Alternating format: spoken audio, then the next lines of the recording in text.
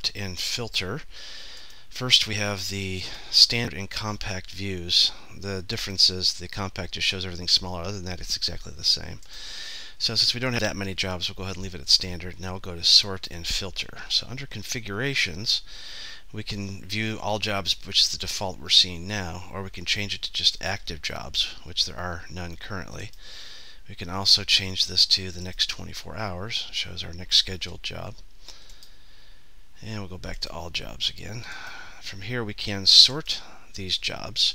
We can sort them by name, server, backup exec. So we can do then again by uh, state, job status, whatever it is we want. So we can just keep we can keep going with three different options and we can do ascending or descending.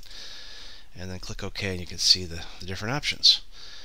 From here we can also go to the filter and the filter if you check that box, you can go in and just show the following types of jobs. So we can say full backup, one-time backup, archive, incremental. So we'll click OK, and then we'll see that that gets filtered to just the jobs that we have told it to look for. So we'll go back to filter again, and we'll uncheck the job type, click OK, and now all the jobs are back again. One other thing we can do is the columns. By default, these are the columns that are listed. We can also add additional columns, and when we do, you'll see that pop up over here on the right hand side. Active jobs.